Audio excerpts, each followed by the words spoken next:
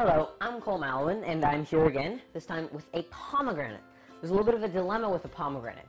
Most people, they enjoy them, enjoy pomegranate juice and everything from cocktails to salads, yet they've never opened one up. There is kind of a alien look to them, and also there's a little bit of a danger. They're kind of like a grenade. You cut them open, you open them up, and stuff flies out and makes a mess. So what I found the best way to remove the arils, that's the little seeds, from the pomegranate, from the pulp that surrounds them, is to first cut off one end.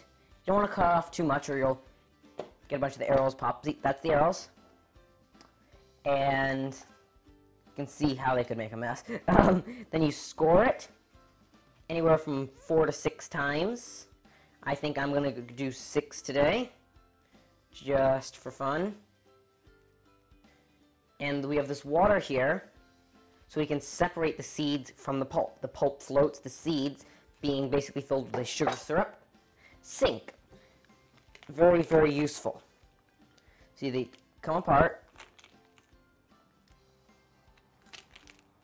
Isn't it pretty?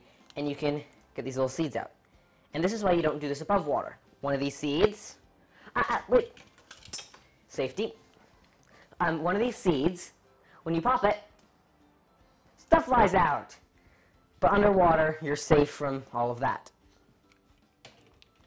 Pomegranates played a role in several mythologies. They originate from the area around Persia, or what was Persia.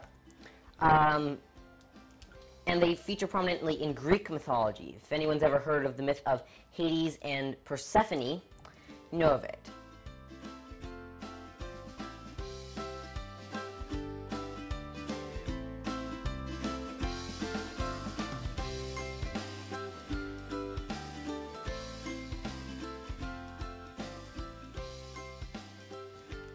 And these little seeds, the arils, can be eaten either just as they are, or you can juice them, stick them in a blender, and then strain out the pulpy bits. Um, put in everything. I've seen them in guacamole even. Nice little crunch, put them in whipped cream. A lot of people, they just kind of crush it and then spit out the seed, but part of the, part of the um, health benefits, a lot of the health benefits come from the seed. They have all sorts of things. Um, vitamin E, vitamin C, vitamin B6, niacin, um, and some antioxidant. So to pick your perfect pomegranate, there's a couple of things you have to make sure of. The first is that it's firm. It should be firm, heavy for its size, and the skin should be tight. Shouldn't be wrinkled, and there shouldn't be any major blemishes. Another thing that's very important is that there's no rot here or here. It's okay if they're kind of brown like this one, but if they're all kind of nasty looking, it's no-go.